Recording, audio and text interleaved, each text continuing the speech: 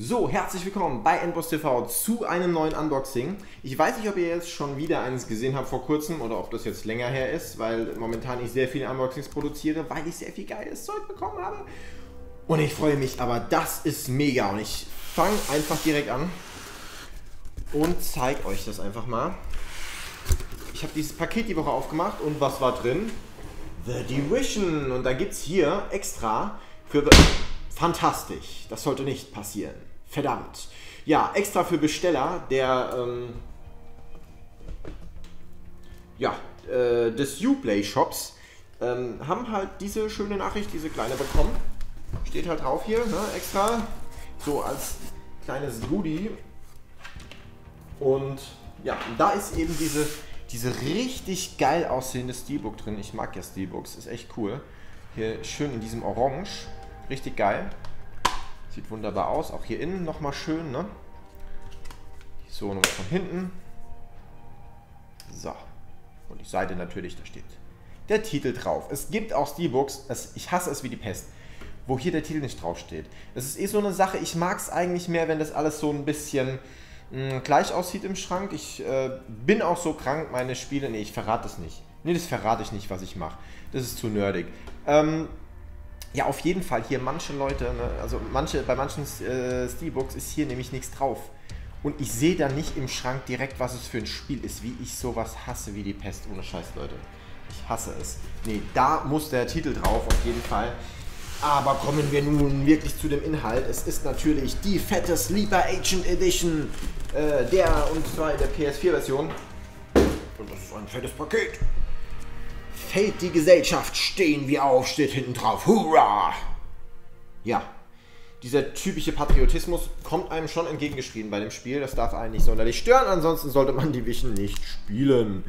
Wer auf eine tiefgründige Story mit... Ähm, ja, lassen wir das. Ich bin mal gespannt. Ich habe es ja noch nicht gespielt, aber alles, was ich bisher gesehen habe, weist darauf hin, dass es halt eine typische Hurra Story ist. Aber gut, ist natürlich ein bisschen bei Tom Clancy auch zu erwarten. Aber ich hoffe, dass es doch noch ein bisschen tiefgründiger wird, so von der Story. Also, ja, was heißt tiefgründiger? Also zumindest komplexer und äh, mit ein paar Wendungen und ein bisschen mehr drauf eingeht, auf diese ganze Virus-Geschichte. Das Intro ist auf jeden Fall schon mal geil, das habe ich schon gesehen. Und ein bisschen schade, wenn das gar nicht mehr so thematisiert wird. Aber man weiß ja von Destiny so, wie das ist bei MMOs. Das ist halt nun mal nicht der Mittelpunkt. So, jetzt kann man das hier uh, einfach hochschieben. Das machen wir doch. Hier hinten stehen halt alle Infos drauf, das lese ich aber jetzt gar nicht erst vor.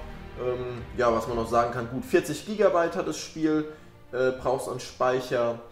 Ja, lässt sich natürlich nur alleine spielen an einer Konsole. Ist aber natürlich ein Online-Game, also generell lässt sich natürlich auch merkt man spielen. So, jetzt kann man das hier so. Ich schau mal hier kurz. Ich schaue übrigens immer ins Spiegel, deswegen.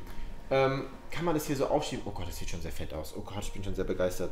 Jetzt kann man das hier einfach so, das ist schon mal sehr geil und aufwendig. Sowas kann Ubisoft. Ubisoft kann Collectors Editions. Wer auf Collectors Editions steht, ist bei Ubisoft richtig. Wer auf sowas nicht steht, der braucht nicht motzen, weil der steht auf sowas nicht. Also Leute, wenn ich dann einfach so die gleiche Person wiedersehe, die über jede Collectors Editions diese, dieser Welt, ich habe schon verdammt viele ausgepackt auch für euch, jedes Mal wieder motzt und ich denke mir nur so, das hat nichts mit objektiver Meinung zu tun. Du magst einfach Collectors Editions nicht. Warum guckst du dir überhaupt dieses Video an, nur um wieder darüber zu motzen, wie scheiße Collector Editions sind? Manche Leute mögen sie aber und da kann man dann sagen, okay, die ist scheiße, weil äh, die ist einfach von der Preisleistung nicht in Ordnung, äh, da ist das nicht okay, da finde ich das super. Weißt du, es ist einfach, wenn ihr alles scheiße dran findet, dann mögt ihr keine Collector Editions, dann kauft sie euch nicht, guckt sie euch nicht an, macht es anderen Leuten nicht madig. So, das war das Wort zum äh, Donnerstag haben wir heute. Für euch jetzt wahrscheinlich Samstag oder so. So, fangen wir an mit dem Artbook zu äh, Destiny. Da sehe ich schon hier, äh, hinten ist schon drauf, Massive Entertainment. Es ist, ich sehe es schon, es ist jetzt nicht so mega hochwertig, das sieht man schon von außen. Also da gibt es andere, da habe ich ganz andere Collector ähm, Artbooks, ne? Die, was weiß ich, zum Beispiel von Crisis 3, äh, ne, Crisis 2 war das damals, von Skyrim und es gibt schon wirklich sehr, sehr hochwertige, das ist so, es ist okay, aber auch das Papier und so, ne? Das ist jetzt nicht so das Hochglanzpapier. Es sind ganz schöne Artworks drin, ne? Es sind wirklich Artworks, man sieht es auf frühere Versionen von verschiedenen Charakteren. Also ja, das ist okay, das passt. Ja, da sieht man auch die verschiedenen Gegnertypen, die es so gibt. Beispiel mal schauen, ob die Cleaner drin sind. Na, jetzt sieht man hier einiges von, von New York City, ne? ganz viel Environment-Zeug. Ne? Ich meine, Environment, da, damit, davon lebt das Spiel, dass einfach so viele Kleinigkeiten sind. Der Müll, der da rumliegt, die Müllberge, diese ganzen Details, der, der, die, das ganze Material, was da so rumliegt und so an Autos und, und Schrott und Müll, das, ja, das macht die Atmosphäre aus. Diese, diese düstere, beklemmende Atmosphäre und trotzdem ist es so wunderschön, weil es ist halt auch weihnachtlich gleichzeitig, ne? Also es sieht schon alles gut aus. Aber habe ich schon Besseres gesehen, auch von Ubisoft, wenn ich dann alte Assassin's Creed Artbooks denke. Also es ist halt, es ist klein, es ist dünn, es ist jetzt nicht groß, es ist nicht viel drin und es ist jetzt nicht, ja, mega hochwertig von der Druckqualität. Es ist normales Papier, sage ich mal. Habe ich schon alles besser gesehen. So, aber jetzt kommen wir hier zu. Ich habe keine Ahnung, was das ist. Ich habe mich ja extra wieder gar nicht informiert. Ich will ja da immer das live euch auspacken. Man kann es hier aufreißen. Dafür ist es gemacht. Und mal schauen, was sich darunter verbirgt. Ah, ein Poster, gehe ich von aus. Oh, dann vorsichtig mit umgehen. Wenn es ein schönes Poster ist, will ich es ja vielleicht mal aufhängen. Safe Rock Remains. Yeah. Das wäre das Poster. Nicht schlecht. Finde ich recht hübsch. Ja. Es ist nicht riesig, es ist nicht klein. Das ist jetzt echt hochwertig. Das ist jetzt sehr, sehr gut aufgelöst, detailliert. Also dieses äh, Bild, was man hier sieht, das ist sehr schön. Ja, das ist ein hübsches Poster. Ja. Und hier schön versiegelt, hier in diesem ja, was ist das? So eine Art äh, Silikon-Alu-Gedönshülle. Ja, also schön versiegelt da drin gewesen. So, jetzt haben wir hier den Season Pass. Da muss ich mal schauen, dass ihr hier, oh ja, hier seht ihr Codes. Das zeige ich euch natürlich nicht in die Kamera. Da haben wir einmal äh, das Hazmat Gear Set und das National Guard Set. Äh, mit einer P416 Assault Rifle, einer POF P416 Assault Rifle, ein Outfit, ein, ein, ein Rucksack, noch ein Rucksack, ja, und Digital Camo Outfit. Ja, hier ist der Season Pass noch drin. Den Code zeige ich euch natürlich auch nicht. Da kriegt man dann die ganzen schönen Add-ons und alles, was rauskommt. Da muss ich mittlerweile sagen, danke Ubisoft. Da kann jemand sagen, was er will, aber da hören sie auf die Community, die seit Jahren sagt, Leute, ich will nicht noch extra 20 Euro für den Season Pass bezahlen, wenn ich hier schon die fetteste Edition kaufe. Und für 150 Euro macht sie lieber noch 10 Euro teurer oder so, aber legt mir bitte den Season Pass mit rein. Haben sie bei Syndicate schon gemacht das erste Mal davor bei keinem Assassin's Creed-Titel und auch bei anderen äh, Ubisoft-Titeln nicht. Jetzt beim letzten Assassin's Creed, bei Syndicate haben sie es gemacht. Hier jetzt auch super Ubisoft weiter so. Season Pass dazu, geil. Gerade bei einem MMO finde ich super. Hätten sie auch nochmal extra Geld mitmachen können. Ähm, die ganze Edition, sage ich schon mal vorweg, hat übrigens für mich nur 120 Euro gekostet. Nicht, weil ich einen Sonderrabatt bekommen habe. Könnt ihr alle Uplay Shop. Ihr könnt es bei Amazon kaufen, ihr könnt es bei Mediamarkt oder was weiß ich wo kaufen. Ähm, aber zahlte ich, glaube 150 bzw. 160 Euro, glaube ich, für die PS4-Version. 150 war, glaube ich, PC. Vielleicht habe ich mich aber jetzt auch um 10 Euro vertan.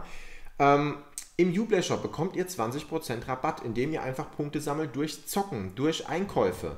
Alleine dadurch, dass ich die Box gekauft habe, kann ich mir schon wieder einen Rabattcode holen. Aber auch durch die ganzen Errungenschaften, die ihr bekommt, durch die, durch die Trophies, die ihr holt, bekommt ihr Punkte. Fürs Spielen bekommt ihr Punkte. Finde ich geil. Und damit holt ihr euch Rabatt äh, so Rabattcodes und dann kauft ihr einfach die Edition, die eh überall das gleiche kostet und kriegt 20% Rabatt. Kriegt ihr sonst nirgends. Deswegen 120 Euro für diese fette Collectors Edition. Nie so viel mehr wie die normale Edition. Allein die digitale Gold Edition hat 90 Euro gekostet, ja. Ist hier alles auch drin, was in der Gold Edition drin ist. Ähm, hier, ja, das Spiel 40 GB, natürlich in 1080p. Die PS4-Version, Internet, Verbindung erforderlich, ist ja klar. Das ist das Spiel, packen wir gleich noch aus.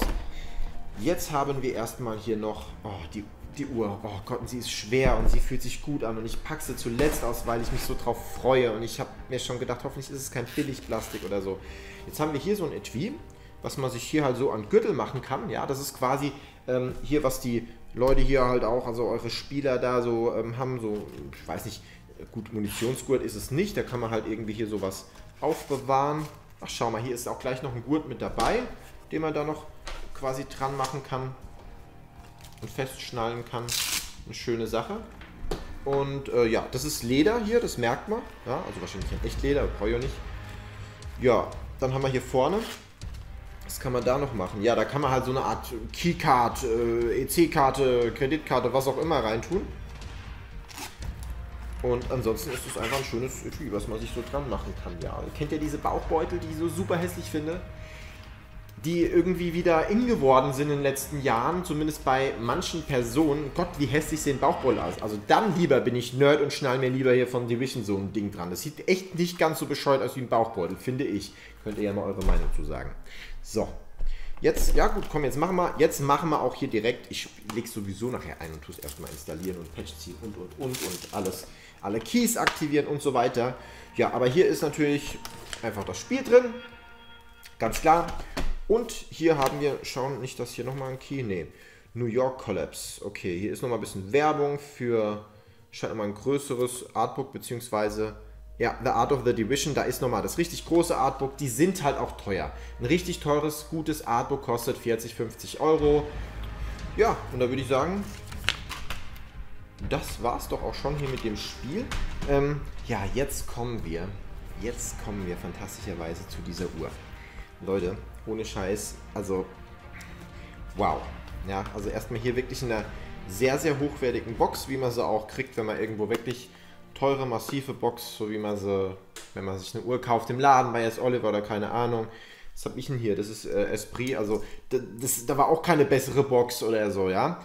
Gut, steht mir in China unten drunter, aber ist ja immer so.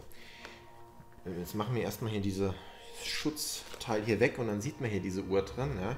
Da sieht man schon, das ist kein Plastik, das ist nicht billig, die ist richtig, richtig schwer. Ich glaube, ich habe eine neue Uhr, Leute, die ich demnächst mal anziehen werde. Weil das ist eigentlich, hier steht die Uhr, aber ich glaube, die werde ich demnächst zumindest mal wechseln. Ich mag ja Uhren. Also, das ist auch nicht so günstig eine gute Uhr, von daher brauchen wir hier auch nicht so viele. So, und hier haben wir eine Knopfzelle drin, die wir natürlich für die Uhr brauchen werden. Wir haben hier noch, ach schau mal, wir haben hier extra, damit es an jedes Handgelenk passt, noch weitere Stift, ähm, ach, wie heißen die Dinger? So weitere Platten quasi. Mir ist gerade der Name entfallen, ihr wisst, was ich meine. Ähm, so, und dann hier passend dazu ein Mini-Schraubenzieher und hier wahrscheinlich die Anleitung. Ja, Instructions, das die, ist die Anleitung. So, Leute, Jetzt schauen wir uns diese Uhr an. Die ist hier in einem, richtig in einem Kissen nochmal drin. Richtiges Kissen. Ja, also, ach, sorry, ich bin gehypt. Aber das selten hat man wirklich sowas qualitativ Hochwertiges bei einer Collectors Edition. Ähm, ist einfach nochmal, ich liebe Figuren und so, aber das hat nochmal eine Ecke was Wertigeres, muss ich sagen. Jetzt muss ich nur mal schauen, wie ich die, das Kissen da quasi rausschieben. So, also da hat man richtig so ein fett gepolstertes kleines Mini-Kissen also das könnte man zum Beispiel, wenn, wenn ihr eurem Hamster ein Bett machen wollt, habt ihr hier schon mal ein Kissen. Ähm, so, dann schauen wir doch einfach mal, dass wir die hier einfach so rausnehmen jetzt. Ich glaube auch dieses Pappding hier brauche ich dann nicht mehr. Das reicht, wenn ich das Kissen habe und hier die Hülle so. Das wird mir jetzt nicht passen, weil ich echt ein großes Handgelenk habe. Ich weiß nicht mal, ob das reicht. Ich hoffe, wenn ich hier die beiden Stifte noch reinmache, dass es dann reicht. Falls nicht, muss ich da echt mal zum Uhrenmacher, weil die ist schön. Da lasse ich mir, dann muss der schauen, dass er mir da noch was reinmacht. So, jetzt muss ich mal schauen. Die hier so ähnlich, normal muss man die hier irgendwie aufklappen. Na? Wie geht die auf? Verdammt. Also bei meiner ist hier neben einfach so, ein, so zwei Stifte. Aber hier, das sieht aus, als müsste man die einfach so wie bei meiner alten, die ich mal hatte. Ne, es geht aber nicht. Okay, doch. Hat nur noch ein bisschen Festgang. Da ist halt quasi so schwarzes Material drüber, ne? damit das halt so Anthrazit aussieht, weil das ist. Da ist quasi, das ist auch Metall, ja, wie bei meiner Uhr. Das ist alles Metall, aber damit es so dunkel aussieht, da ist halt von der Verarbeitung noch so ein paar Pocken. Aber das sieht sau hochwertig aus. Also das so, ich weiß nicht, ob das mit der Zeit hat, wenn Kratzer reinkommen, ob das dann auch metallener wird. Ähm, so, ich ziehe mal kurz meine Uhr aus. Und schau mal kurz, ich weiß gar nicht, wie rum die ist, so rum wahrscheinlich. Sie passt. Fast. Okay, sie ist zum Zumachen. Mit den beiden Stiften passt und ich habe echt ein großes Handgelenk. Also es müsste den meisten Leuten passen.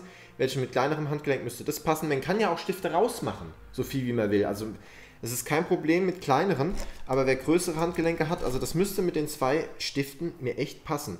Und dann hat man, ich mache es trotzdem mal zu, es geht, es ist mir jetzt zu eng. Ich mag das, manche mögen es ja, wenn es zu eng ist, aber bei mir, ich die rutscht jetzt halt gar nicht. Ich mag das, wenn es ein bisschen rutscht. Ich mag es einfach. Das ist Geschmackssache. So, schaut ihr euch an, ja. Und dann habt ihr hier diese digitale Anzeige wie im Spiel. Hey, richtig geil, ne? Da sind auch, ist auch einige Knöpfchen hier dran, wo man dann wahrscheinlich hier einstellen kann. Ach, guck mal. Ach, das ist, die Knopfzelle ist nur eine Ersatzknopfzelle. Hier ist schon anscheinend eine drin. Schaut euch das an, in Orange. Richtig geil. Wow. Richtig geil, mit Datum und allem drum dran. Richtig geile, hochwertige Uhr. Ganz ehrlich, noch nie sowas Hochwertiges in der Collectors Edition gehabt und das für 120 Euro. Leute, damit bin ich begeistert. Wirklich, damit haben sie mich. Der Rest ist so, das Artbook, es gibt geilere, es ist für eine Collectors Edition normal. Ja, es ist okay. Das hier braucht man nicht, aber ist ganz schön, ist ein Lederetui. Das äh, Poster kann man sich aufhängen, absolut, ist schön. Spiel, geil, Season Pass dabei, super, ist finde ich mega. Und dann diese richtig hochwertige Uhr, ja. Ähm, in dieser hochwertigen Box. Leute, ich bin begeistert. Wahnsinn, einfach nur Wahnsinn. Ich packe euch, wenn ihr äh, bei Ubishop noch bestellen wollt, dann könnt ihr gleich mal schauen, euch da anzumelden, auch wegen eurem Account, dass ihr Rabattcodes bekommt. Äh, Stelle ich euch einfach mal die Box rein. Ich habe keine Ahnung, wenn das Video rauskommt, ob ihr die noch bekommt. Die ist natürlich limitiert, ist lieber Agent. Ähm, Gibt es natürlich auch für Xbox und für PC. Äh, ich packe euch auch den Amazon-Link rein, wenn ihr doch lieber bei Amazon bestellen wollt. Auch den Amazon-Link. Ähm, ansonsten, ich danke euch fürs Einschalten. Ich bin begeistert. Ihr bekommt gleich noch ein paar Bilder. Und erzählt mir, was ihr meint. Ich bin begeistert. Ich finde es geil, wegen der Uhr. Ansonsten, wenn da noch eine Figur oder so dabei gewesen wäre, würde ich sagen, oh, geile Edition, habe schon bessere gehabt. Aber mit der Uhr ist es eine der besten, die ich je hatte. Und es gab schon geile von Ubisoft. Also, macht es gut. Danke fürs Einschalten. Abonniert unseren YouTube-Kanal, abonniert unseren Twitch-Kanal, liked uns auf Facebook, äh, gebt uns ein Däumchen hoch, kommentiert. Wir freuen uns und machen weiter. Ähm, Im Sinne des ganzen Endboss TV-Teams vielen Dank und ihr wisst Bescheid, immer schön weiterzocken.